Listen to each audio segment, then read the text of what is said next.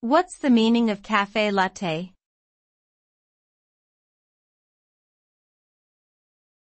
Cafe latte.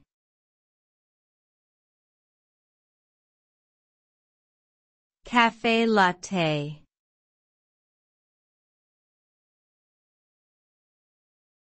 Cafe latte.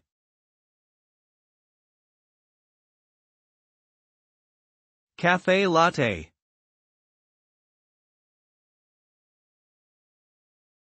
Cafe latte is an Italian coffee beverage that consists of a shot of espresso and steamed milk. The term latte actually means milk in Italian, and when combined with cafe, which means coffee, it essentially translates to coffee with milk.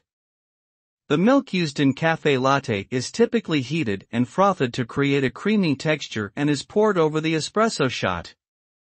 This results in a smooth, rich, and silky drink with a balanced flavor of coffee and milk. Cafe latte is often enjoyed as a comforting morning drink or a soothing afternoon pick-me-up.